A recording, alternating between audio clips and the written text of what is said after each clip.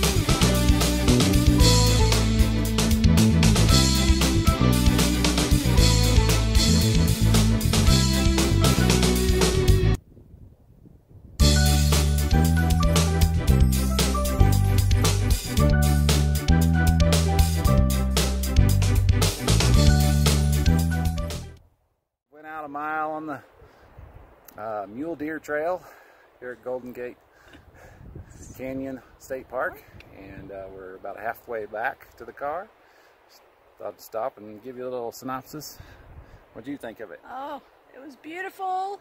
Just lots of stops so you can take in the beautiful scenery without falling or slipping in the snow and ice. Yep. Uh, there's the wind blowing the camera as well. So we had a little bit of wind, a little bit of sun. Uh, we started off a little cool. We had to take our gloves off pretty quick, and now the sun's shining and it's plenty warm. We may have too many clothes on, but that's Colorado, it seems. Be prepared for anything. Layers and layers. All right, join us next time. Bye.